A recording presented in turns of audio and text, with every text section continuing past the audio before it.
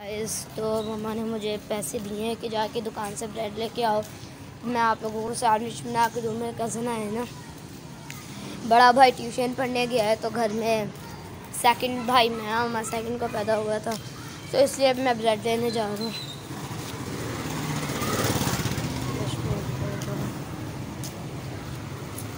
तो दुकान करीब ही है। हम्म, आप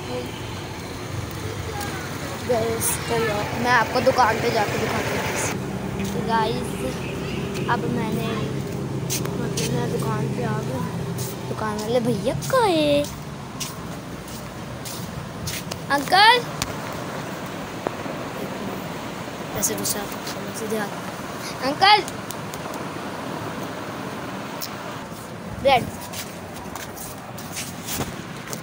मिल्की पड़ी है सिर्फ़।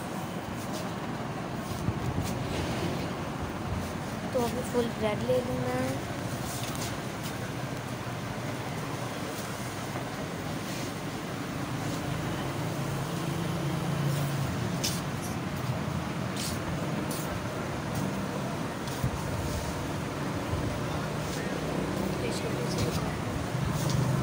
ये आइसक्रीम्स होती हैं इसमें। दूसरों में पॉप्स होता है। मिल्की की ब्रेड दे दें। कितने की है? फुल। ब्रेड ले लो। तो गाइस ब्रेड भी ले ली है बकाया पैसे भी ले लिए हैं। तो अब हम जा रहे हैं घर में। यार कौन वाला खड़ा दिल तो मेरा बहुत कर रहा है कौन खाने को। फिर मम्मा ने कहा कि पैसे लेके आने बस पैसे ही लेके जाते हैं। मैं आपको घर जा जाकर दिखाऊँ गैस ब्लड उठाने गया है। मैं तो हूँ इतना पतला सा देखिए। मेरा पेट ही नहीं है।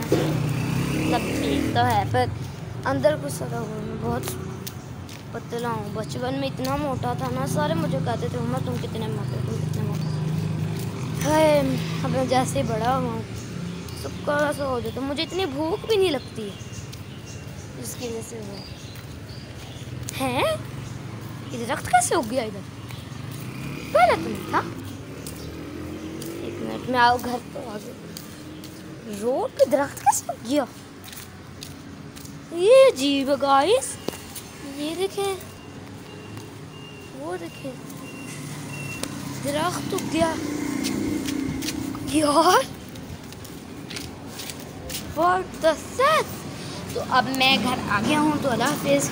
अब हम सैंडविच बना के खाएँगे। चिप्स खाएँगे। मैंने कल जैली बनाई और वो छोटी सी रोटी बनाई। अल्लाह हाफिज़।